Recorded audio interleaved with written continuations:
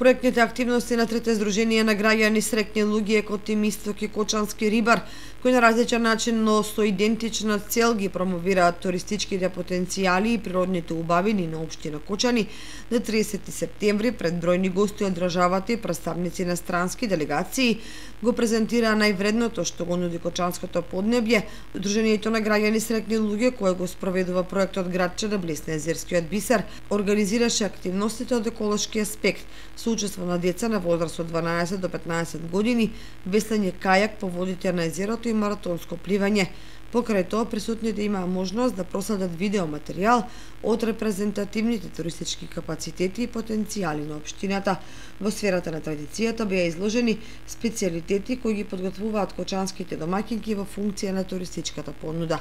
Проектот Градче да блесне езерскиот бисер, кој го спроведува Сдруженијето на граѓани среќни луѓе, се спроведува во рамките на регионалната програма за локална демократија во Западен Балкан, Релоат 2, кој е финансиран од Европската Унија, а јас проведува програмата за развој на Обединетите нации.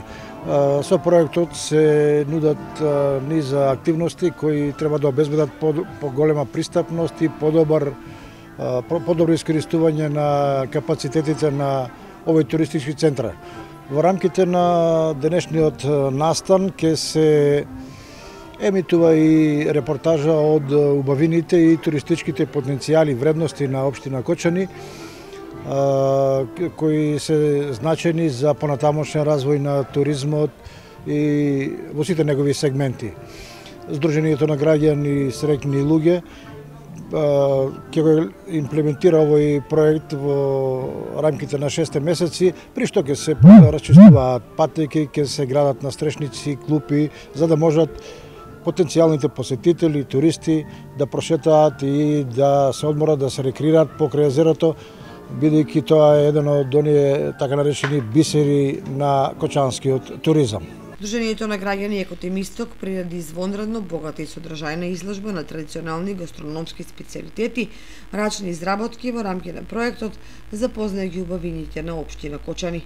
Во рамки на проектот Запознај ги убавините на општина Кочани, кој што Сдружението Екотем Исток го спроведува во партнерство со Сдруженијето за бизнис жени од Скопје, А, ние денеска се представуваме со етно еко штант на кој што се представени дел од културата, традицијата и локалните специјалитети од храна на општина Кочен. Воедно, преку овој штанд вршиме и промоција на една од целните групи во проектот, а тоа ни се жени кои што им изработуваат свои автентични ракотворби или специјалитети од храна. Сдруженијето на граѓани Кочански рибар во рамките на проектот Спортски риболов Еликсир за младите организираше надпревар на млади риболовци кои почетните вештини из овој рекреативен спорт ги научија преку проектните активности. Денес се наоѓаме на Брана Градче. Денес одржуваме во склоп на денови на Кочанскиот Орис, еден надпревар помеѓу младите членови на риболовното друштво СРЗ Кочански рибар. Инаку дел од, а, од младите членови денес е на државен надпревар на Куп Рибарче во Скопје. Очекуваме да се вратат со добри резултати. Моментално е прегледување на уловот и резултати ќе бидат некаде после 14 часот. Прекрасен ден, убав, ги повикуваме а, родителите на сите млади деца да дојдат и да, да си поминат еден некои убави моменти на ово прекрасно езеро. Проектите се реализираат во рамки на регионалната програма за локална демократија во Западен Балкан 2, РЕЛО 2, финансирана од Европската Унија, а ја спроведе во програмата за развој на Обединетите нации, кофинансиер е Обштина Кочани.